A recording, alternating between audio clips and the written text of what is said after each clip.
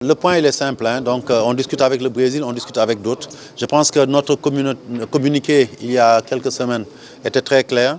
Donc on avait dit qu'on faisait l'impasse sur les dates de septembre, mais qu'on se proposait de jouer avec des adversaires de, de, bon calibre pour ce qui concerne le mois d'octobre. On est en train d'y travailler. Euh, le Brésil, euh, je ne vais pas vous le cacher, reste euh, en fait notre premier choix et nous sommes en train de discuter.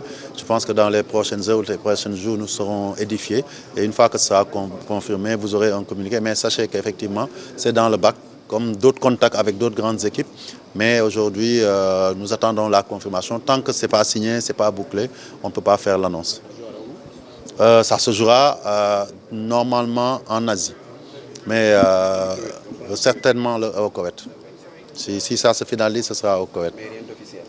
Pour, au stade où on parle, je, je vous l'ai dit déjà, ce n'est pas encore officiel parce qu'on n'a rien signé.